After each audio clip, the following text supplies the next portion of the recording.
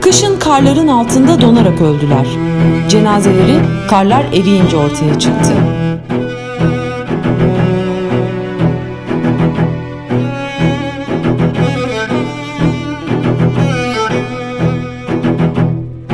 Yazın kilitli bir tekne deposunda boğularak can verdiler.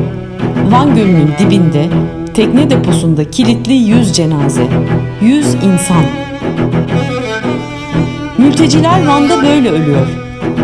Dünyanın gözü önünde toplu ölümler yaşanıyor. Daha iyi bir yaşam için çıktıkları yolda böyle can veriyor. Biz daha güzel bir hayat umuduyla yola çıkan tek bir canı bile unutmayacağız. Unutmayacağımız ve unutturmayacağımız bir şey daha var. Bu ülkede alınan nefesi dahi kontrol eden iktidar bu ölümlerden sorumludur. Van'da halka göz açtırmayan iktidarın insan kaçakçılarından bir haber olması mümkün değildir.